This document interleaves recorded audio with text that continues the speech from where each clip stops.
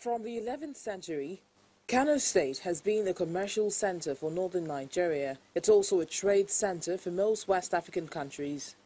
to sustain the status and attract the new emerging trends of global economy and investment, Kano State is collaborating with the Lagos State government in order to generate more income for the state. The Emir of Kano believes this is a good development. On the one hand, I think there's a lot of experience sharing uh, as urban centers, as cities with uh, a long history of commerce and industry uh, with very large population, and as nodes of growth in their respective regions. Um, Lagos um, in the south and Kano has always been the central, central economic um, driver of northern Nigeria.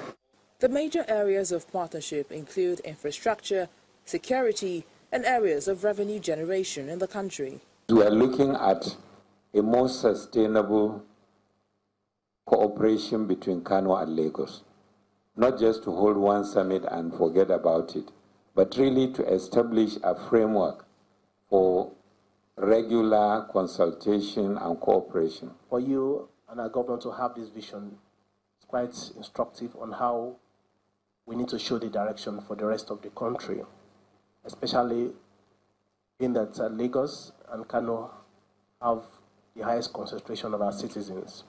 Governor Ganduje believes this decision taken by both states will help resolve the rivalries across the country. Because of the comparative advantages that we have.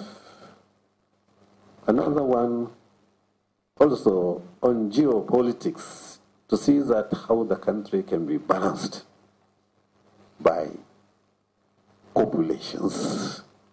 When Lagos is in peace, Kano is in peace, I think Nigeria is in peace. Within the next few days, the Kano-Lagos Joint Economic and Investment Summit officials are expected to come up with resolutions on the roles of the state governments in addressing the various challenges in cities across the country.